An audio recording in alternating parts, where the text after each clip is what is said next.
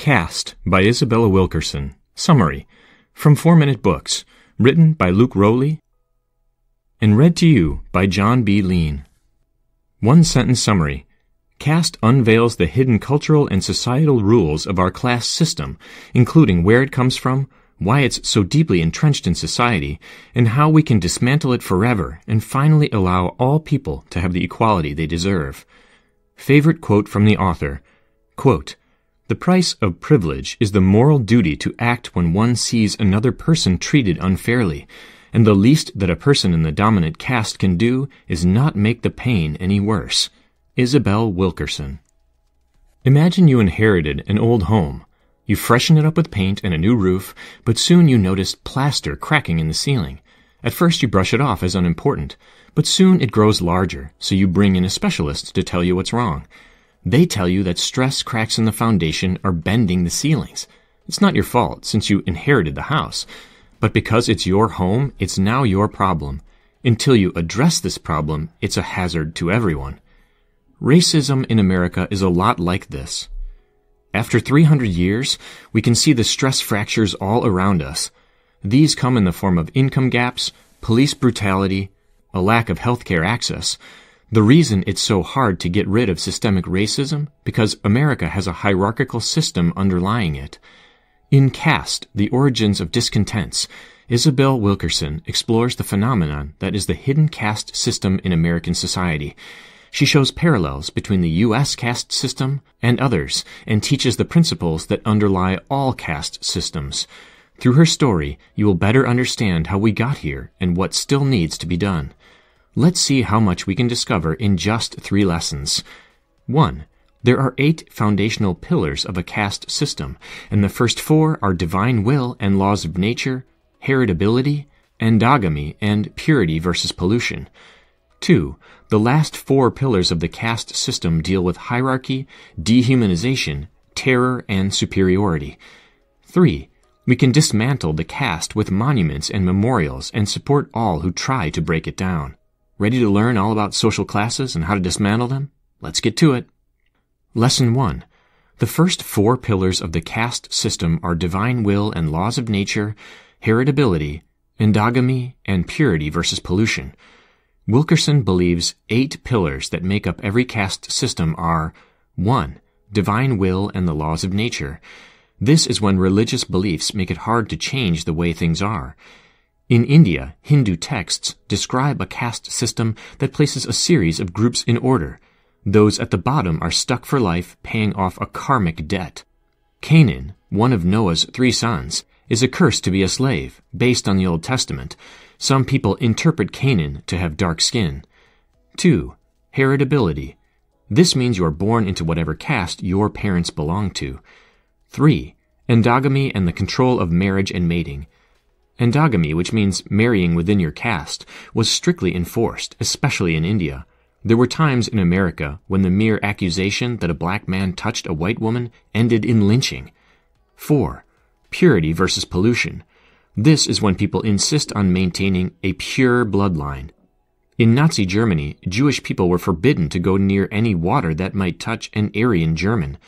Also, African Americans were banned from swimming pools. As you can see, caste systems form around arbitrary but culturally strengthened rules. The remaining four pillars were built on fake reasons for why those rules were necessary.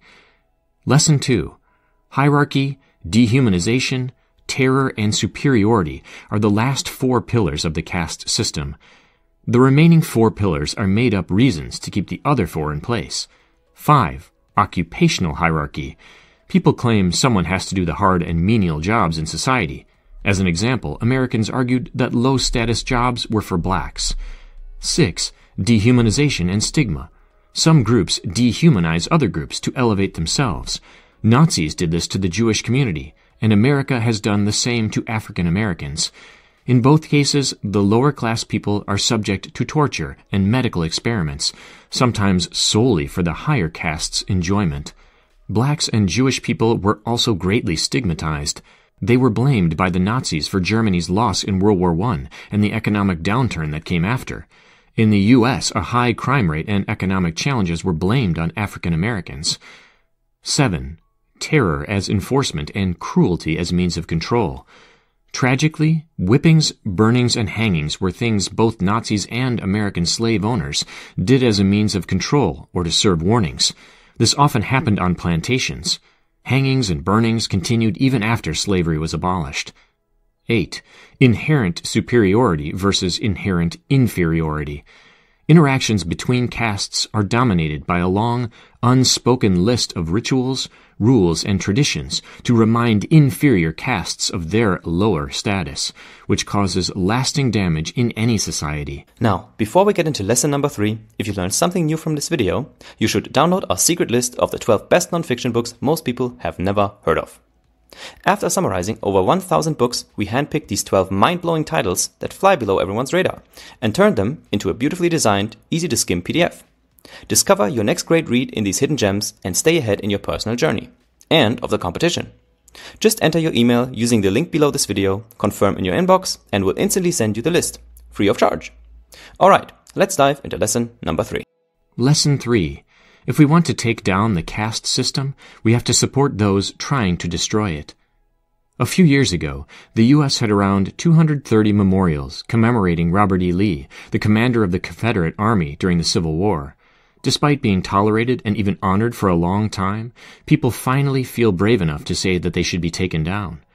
When hearings in one city were held whether to take down a statue of the general, there was some pushback.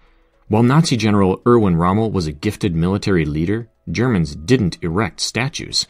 This is what Richard Westmoreland, a retired Marine lieutenant colonel, pointed out. He poignantly said, They're ashamed. Why aren't we? In contrast, Germany has many memorials to victims of the Nazis. This includes markers with names on the sidewalk outside of homes from where they took them. In short, they humanized people.